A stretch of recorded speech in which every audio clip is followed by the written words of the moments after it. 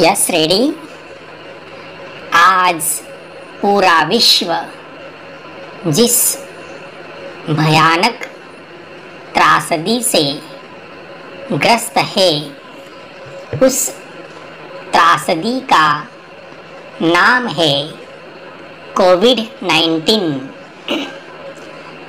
Covid nineteen वास्तव में corona नामक वायरस, यानी रोगाणु से फैलता है, जो कि सामान्यतः चमगादड़ में पाया जाता है। वैसे तो यह वायरस फ्लू की प्रजाति का ही है, जिसका फैलाव सामान्यतः शीतकाल के दौरान होता है, तथा लक्षण भी सर्दी, खांसी, बुखार आदि होते हैं। जो कि सामान्यतः निमोनिया या वायरल फ्लू के समान ही होते हैं।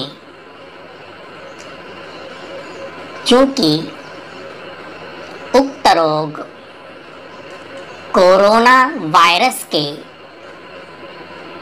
कारण ही नवंबर 2019 में चीन के वुहान शहर में सबसे पहले पाया गया। इसलिए इसे कोविड 19 यानी कोरोना वायरस डिसीज 19 नाम दिया गया। पैराग्राफ से। वैसे कहा यह भी जाता है कि चीन के द्वारा वुहान स्थित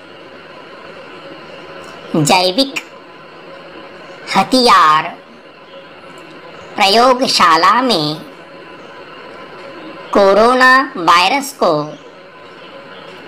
तैयार करते समय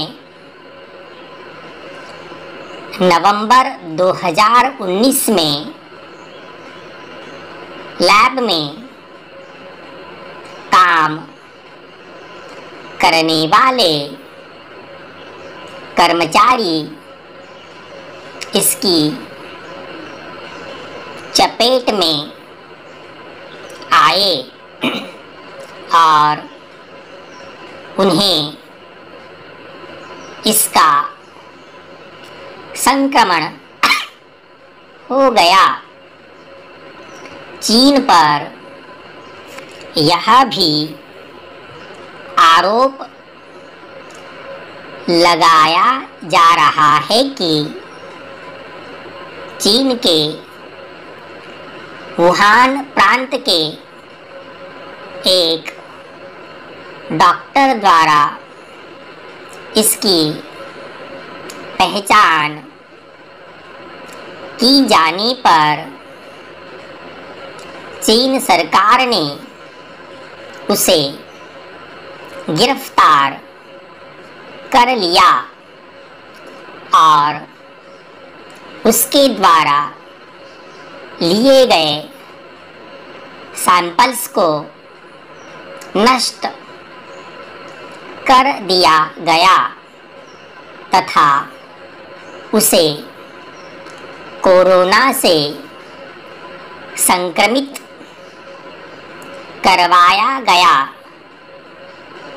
जो कि चीन का पहला संक्रमित मामला था, जिसके कारण उस डॉक्टर की मौत हो गई। चीन पर यह भी आरोप लगाया जा रहा है कि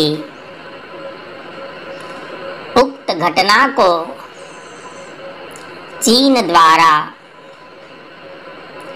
जानबूझकर शेष दुनिया से छिपाया गया, जिसका परिणाम यह हुआ कि आज